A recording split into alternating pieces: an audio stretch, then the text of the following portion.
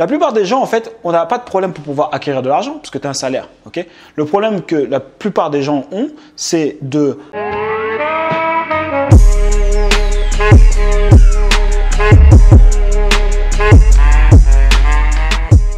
Alors bonjour et bienvenue sur cette nouvelle vidéo. J'espère les gars que vous allez bien euh, depuis la dernière fois. N'hésite pas à mettre un j'aime si jamais euh, euh, tu vas aimer la vidéo de toute façon tu peux déjà mettre un j'aime, euh, à, t'abonner si jamais tu veux d'arriver sur la chaîne. Ok, ici c'est Jonathan euh, Hachi. Depuis 2016, j'ai créé mon premier business en ligne où j'ai commencé à générer du cash. C'est un business en ligne sur euh, le saxophone d'ailleurs. Si jamais tu veux en savoir plus par rapport à ça, je te montre exactement comment j'ai fait 20 cas en une semaine. C'est une étude de cas, c'est gratuit, c'est offert. Ok, avant de créer l'arnaque, il y a un gars qui m'a dit ouais, c'est une arnaque. Mais frère, t'as même pas regardé. enfin, je veux bien que tu dises l'arnaque, n'y a pas de problème, mais au moins regarde. Ok, donc as étude de cas où je te montre exactement comment j'ai fait 20 cas une semaine, c'est gratuit. Donc jette un coup d'œil. Et pour tous ceux qui veulent bénéficier de mon expérience depuis 2016, j'ai fait différents business en ligne ou qui me rapportent de l'argent et qui m'ont rapporté de l'argent. Ok, il y a ma formation Pirate Marketing. Ok, je te montre toutes les stratégies pour pouvoir atteindre au minimum les 5 cas par mois. Et en plus, si jamais tu le souhaites, tu peux utiliser ton financement pour pouvoir euh, y accéder. Ok, donc tout ce que tu as à faire, c'est cliquer sur le lien qui est dans la description, mettre ton numéro de téléphone et ton prénom et un membre de mon équipe va te rappeler ou tu pourras aussi prendre un rendez-vous si jamais tu le veux en fonction de, tes disponibilités. Et en plus euh, de Pirate Marketing, tu auras accès à l'incubateur. Donc c'est un groupe où tu vas pouvoir avoir des coachings sur le marketing, sur le branding, tout ce qu'il te faut. Hein. D'accord? Et en plus de ça, j'ai rajouté des bonus complémentaires sur Pirate Marketing, comment investir en immobilier, comment investir dans la crypto, euh, un bonus complémentaire sur euh, l'e-commerce. Qu'est-ce qu'il y a d'autre? Investir dans les startups aussi. Ok, donc bon, bref, en gros, tu as un package complet pour pouvoir faire quelque chose de ta life là. Mais évidemment, il y en a qui vont quand même trouver des excuses. Hein. Je te dis pas de prendre une de mes formations. Moi, fais quelque chose dans la life, prends une formation de quelqu'un d'autre. Euh, mais si tu fais rien, il va rien se passer, ok? Moi, j'ai grandi à Évry dans 91. J'ai redoublé mon BEP électrotechnique. J'ai grandi le quartier des Pyramides. Voilà, euh, j'ai découvert le business super tard. J'avais 34 ans, je crois, quand j'ai entendu parler du business. C'est pas genre j'étais déjà en train de commencer. Non, entendu. Ah ouais, c'est possible de faire autre chose que le taf? Ah bon? Voilà, j'ai entendu. Et là, ça fait plus de trois ans que je voyage. Euh, voilà. Est-ce que c'était facile? Non. Est-ce que ça a été rapide? Ça dépend. Qu'est-ce que tu entends par rapide? Mais pour moi, 5 ans de ta vie pour pouvoir carrément la changer ou vivre une autre life pour qu'aujourd'hui je puisse voyager où je veux quand je veux. Bah, ça dépend. 5 ans, ça me paraît pas beaucoup. Pour d'autres, ça paraît beaucoup. Mais dans tous les cas, les 5 ans, ils vont vite arriver. Donc si tu n'as rien fait, il va rien se passer. Donc voilà, c'est ça aussi le gars. Ils disent ouais, ça prend trop de temps. Ouais, mais 5 ans après, alors t'es où? Toujours en, bas de la cage d'escalier. bon, j'imagine bien que normalement, à 25-35 ans, je pense que tu as un taf. Mais toujours dans le même taf. Bref, passons directement au sujet de la vidéo. Est-ce que je dois être propriétaire de ma résidence euh, principale? C'est le sujet de la vidéo qui m'a été inspiré tout simplement parce que euh, il y a en fait, il y a un petit à moi. Enfin, un petit. Les, les, grands, les gars, les gars, ils sont grands maintenant. Hein. hein? Donc, du coup, euh, il y a un petit à moi qui m'avait posé une question m'avait dit ouais, qu'est-ce que tu en penses pour te mettre un peu dans le cadre? Il voulait, il voulait investir dans l'immobilier déjà. Je crois, je crois même qu'il a fait l'acquisition déjà d'un premier bien, je crois, qu'il a mis en location, je sais plus. Mais en tout cas, où il voulait le faire, où il est en train de le faire, où il l'a fait. Ok? Et tac, il me dit ouais, voilà, Joe, qu'est-ce que tu en penses? Là, j'ai envie d'acheter ma, ma, résidence principale parce que je vais avoir une fille, tu vois, bientôt. Tu vois, il essaie de mettre le truc émotionnel, tu vois. Ouais, je vais avoir une fille, tu vois. Il se dit, comme ça, voilà, je le carotte, il va, il va me donner une réponse émotionnelle aussi. euh, non, c'est pas le style de Jojo, t'as déjà compris ça. Et il me dit, ouais, je vais avoir une fille et tout. Euh, du coup, euh, tu vois, pour que la famille soit en sécurité, ah, tu vois, euh, j'ai envie d'acheter une résidence, ma résidence principale. Qu'est-ce que tu en penses? Comme ça, au moins, je, je, je possède l'appartement. Et donc du coup dans cette vidéo je vais te donner euh, mon opinion par rapport à ça. Bon clairement euh, et en même temps je vais aborder un concept que je voulais aborder. C'est parfait, je vais profiter de cette transition pour pouvoir euh, te, parler de, ce concept. Donc déjà premièrement par rapport à la résidence principale, si jamais tu as lu Père riche, Père pauvre, tu sais quelle est la bonne réponse. Alors je ne dis, je dis pas que c'est notre prophète, Hein euh, comment il s'appelle encore Robert Kiyosaki. Mais je trouve que ces arguments sont assez, assez tangibles quand même. C'est assez logique. Donc, euh, contrairement à tout ce qu'on nous a enseigné depuis tout petit, et peut-être que ça, a été, c'était vrai à l'époque, tu vois. Peut-être que c'était des, notions qui étaient vraies à l'époque sur le fait de ouais, vas-y, il faut que tu possèdes ta maison, il faut absolument que tu aies ta maison, etc. Tu vois. Peut-être à l'ancienne, ça, ça avait du sens, mais aujourd'hui, bah, concrètement, frère, si tu achètes ta maison, euh, bah, déjà, c'est plus cher que si jamais tu loues. Et en plus, il faut entretenir la maison. Euh, en plus, ça se trouve, la maison que tu achètes maintenant, c'est pas forcément la maison que tu voudras dans 10 ans, tu vois. Enfin, il n'y a pas forcément de. À part le fait, regarde bien, à part le fait de dire, ouais, je possède ma maison, mais ouais, et alors? C'est juste euh, quand tu reprends du recul, tu enlèves tous les trucs que tout le monde t'a dit. Tu calcules, ben ouais, mais ok. Quelle est la différence entre si je loue et si jamais j'achète? C'est quoi la différence qu'il y aura en fait, réellement?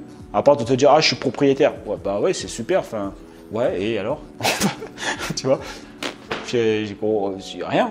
Donc en gros, euh, ce que Robert Kiyosaki dit, c'est que l'idée c'est d'avoir plus d'actifs, excuse-moi, plus d'actifs que de passifs. Donc les passifs c'est tout ce qui fait sortir de l'argent de ta poche et des actifs c'est tout ce qui fait rentrer de ta poche. Donc euh, aujourd'hui un actif par exemple ce serait ton, ton salaire par exemple, tu vois?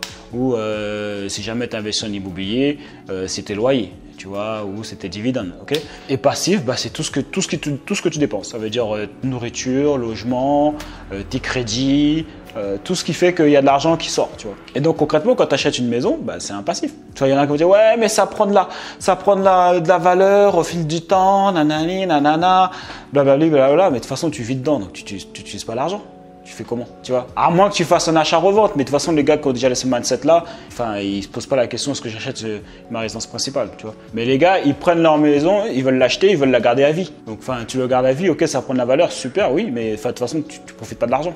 Tu peux même être millionnaire si tu veux, euh, euh, genre en valeur de ta maison, mais tu fais quoi avec?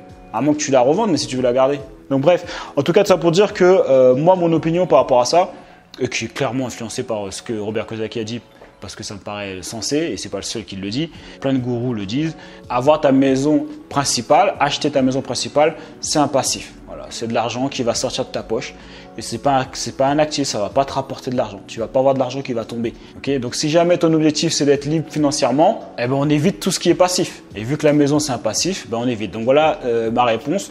Euh, voilà la réponse que je lui ai donnée. Je suis, je suis pas sûr qu'il m'écoutait, hein, évidemment. Euh, surtout que sa meuf, je pense qu'elle voulait forcément avoir un, un, appartement, tout ça, un truc comme ça. Bon, bon, après chacun fait ce qu'il veut, mais ce qui est sûr, c'est qu'en plus, si jamais tu vas investir en immobilier, ça va défoncer ta capacité d'emprunt. Bon, ça, je veux dire, c'est jamais bon en fait. Moi, je sais que, tu vois, aujourd'hui, j'ai aucun crédit qui n'est pas remboursé. Ça veut dire, ça veut dire j'ai crédit immobilier, ok, mais euh, j'ai des loyers qui tombent, ok. Mais j'ai aucun crédit comme ça, genre où euh, juste l'argent sort comme ça là. Non, avant j'avais plein de crédits. T'inquiète pas, j'avais plein de crédits avant. Après j'ai fait des, euh, bah, j'ai fait des stratégies pour pouvoir éliminer les crédits petit à petit. Je crois que j'avais fait des vidéos là-dessus. Si tu cherches, tu devras trouver. Je sais pas comment, je sais pas comment j'ai dû appeler ça. Ça fait un moment que j'ai fait cette vidéo. Je sais même plus, mais tu tapes comment économiser ou comment euh, comment réduire ses crédits. Je sais pas si jamais il me semble. Bref, en tout cas, aujourd'hui, frère, quand j'avais éliminé tous mes crédits, tu te sens déjà, tu sens libre déjà. Tu te sens, c'est un truc, c'est une sensation, il faut le vivre pour le comprendre. Ceux qui ont réussi à défoncer tous leurs crédits, ils le savent. Quand tu n'as plus de crédit, il n'y a plus de de prélèvements qui sortent de ton compte comme ça, c'est, ça fait trop chelou, gars. On dirait tu te sens libre, gars. Tu dis, mais en fait, là, je peux partir si je veux, là. Je peux voyager d'un coup, là, maintenant. Tu sais que tu es tranquille, gars. Tu sais, si jamais, par exemple, genre, euh, je sais pas, euh, ton business, il fonctionne un peu moins aujourd'hui, ou euh, tu sais, voilà, t'as pas de crédit, frère. Tu es tranquille. Ça fait une sensation de liberté, les gars.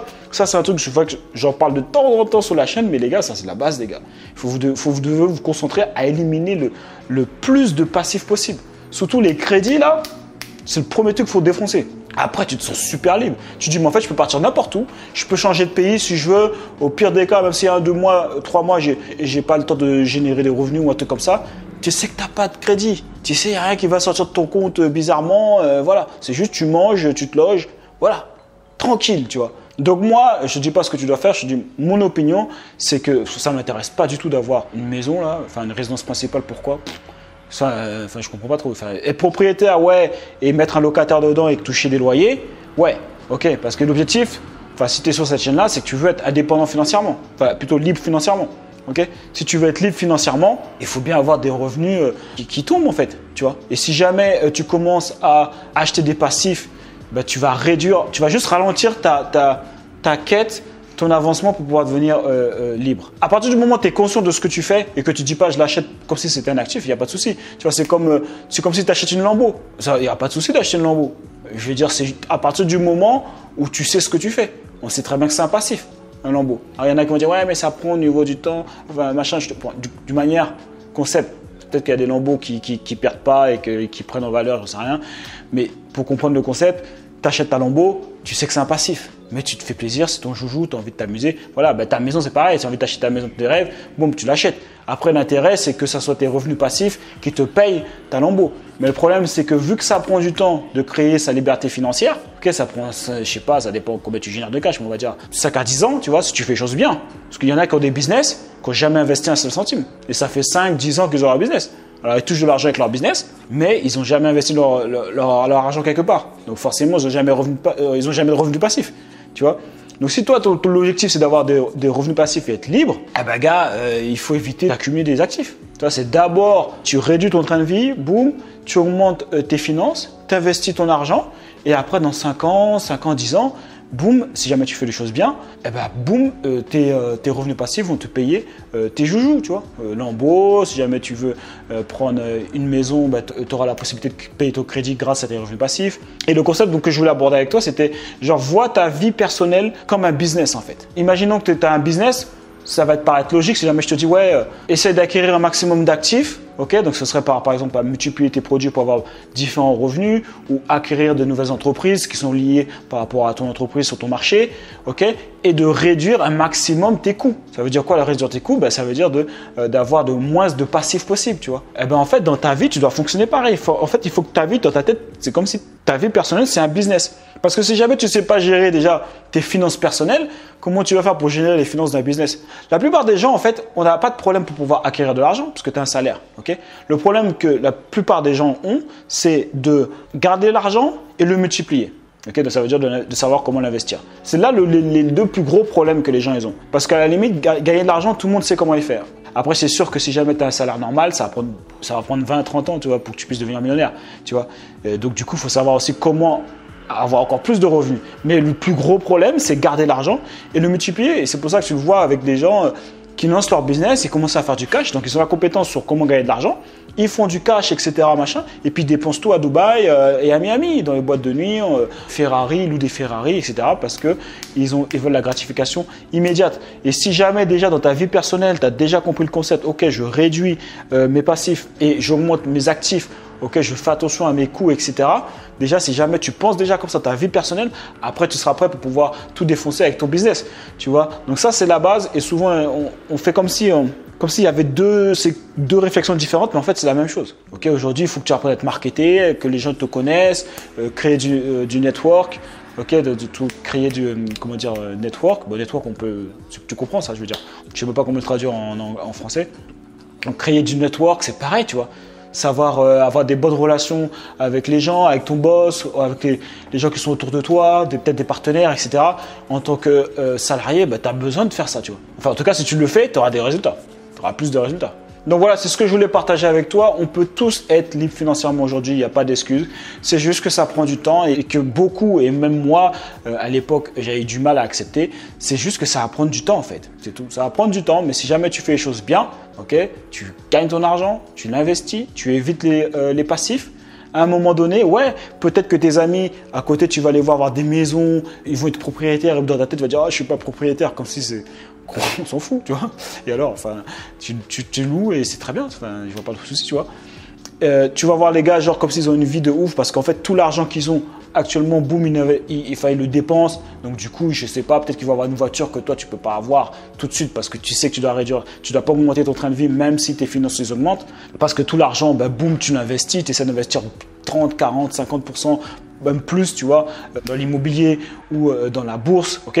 Donc ouais, au début, les gars, tu vas voir, ils ont une vie de ouf, machin. Et c'est vrai que 5-10 ans, ça peut, ça peut durer longtemps. Donc si tu commences à 20 ans, à 30 ans, ou tu fais 30 à 40 ans, tu, vois tous tes potes, ils sont là, ils font la fête, ouh, ils sont en voiture, ouais, t'as vu ma nouvelle voiture, Putain, toi t'es là, euh, t'as un- train de vie normal, machin.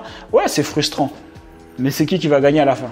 Parce qu'après, dans 10 ans, frère, toi, après, tu pourras aller à Miami si tu veux, tu pourras avoir une bête de voiture, et- et surtout, ton- tu vas continuer à t'enrichir constamment, ça va jamais s'arrêter. Est-ce que ça en vaut le coup? C'est à toi de voir, frère. Donc voilà, euh, c'est tout ce que je voulais partager. Euh, n'hésite pas à me dire ce que tu en penses euh, en commentaire aussi. Ok, c'est libre, il n'y a pas de souci. Tu peux partager ton opinion. Et n'hésite pas à mettre un j'aime si tu aimé cette vidéo. Un j'aime pas si jamais tu n'as pas aimé. Si jamais tu veux aller plus loin avec moi, tu as tout en description. Et les gars, on lâche rien et on reste déterminé. Il y a eux et il y a nous. Je ton camp. Laisse les gens abandonnés. Nous, on ira jusqu'au bout.